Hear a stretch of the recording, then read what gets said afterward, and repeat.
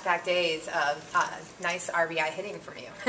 Uh, I mean, yeah, that's what with Jeremy hitting in front, everybody swinging the bat well in front. That's what you're supposed to do. So yeah, and you guys uh, came out hot early, and that proved to be really important in a game that ended up being shortened by rain. yeah, it did. Um, I think that's a good thing, especially for us tomorrow with two seven inning games. Hopefully, we'll go with the same plan. Hopefully, we'll be able to do that again.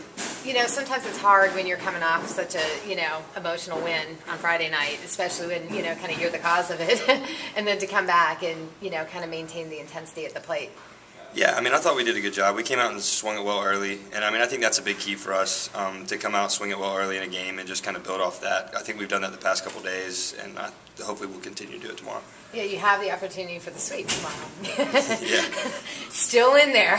Right. Um, you know, that how big of a statement would that be for this team to come out and get four wins in a four-game set? It would be good. I mean, that, that was our goal coming into into the weekend. It's our goal going into every weekend, and to finish uh, first weekend with a sweep would be good. But we're just thinking about the first game.